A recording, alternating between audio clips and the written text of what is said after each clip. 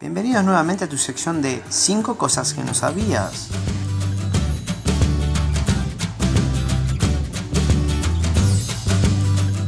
Durante los 80s, el creador de Game of Thrones, George R.R. R. Martin, fue guionista de la serie TLTV La Bella y la Bestia y La Dimensión Desconocida.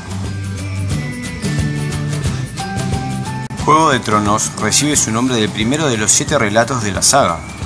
La serie literaria completa en realidad se llama Canción de Hielo y Fuego.